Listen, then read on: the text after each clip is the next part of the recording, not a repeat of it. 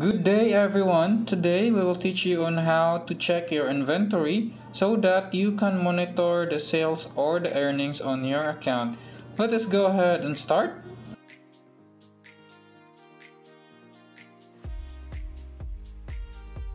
First, let us go ahead and log into your admin dashboard for your machine. And then when you are already connected, you will go to sales and then click inventory. You can now see the total earnings and also the devices connected from June 13 to June 17. But if you want to check the specific date, you can change the date for example from June 9 to June 16 and you can see that the amount changes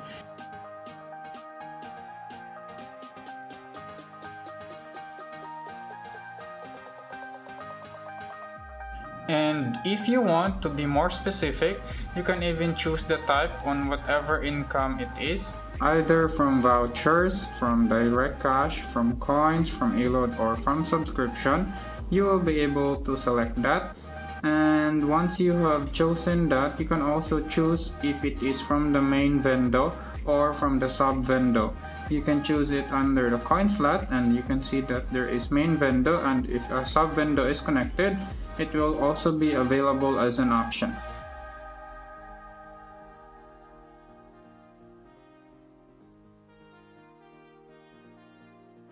And under the items per page, you can sort out how many devices history you want to see per page. You can choose between 10, 50, or 100 if you want to check what devices were able to connect to your machine during that period of time. You can also locate the machines connected to your device for a certain period of time using their MAC address or using their device name. You can also check the inventory by checking the history using the shortcuts on the lower end. For example, today, yesterday, this week, this month, and there are also more options. For example, if you go ahead and click show oldest first, it will show the oldest recorded sales inventory on your machine.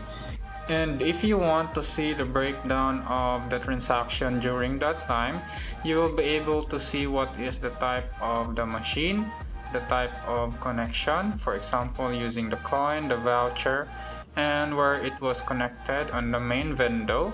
You can also check the exact time when it connected to the machine. And in here you can click the download sales report if you want to save a copy of all the transactions recorded by your machine you will be able to view it in Excel and if you want you can even print it on paper.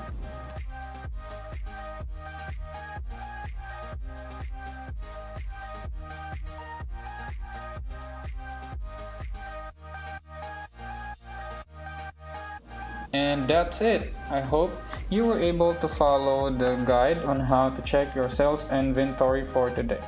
That would be all. See you again next time and have a good day.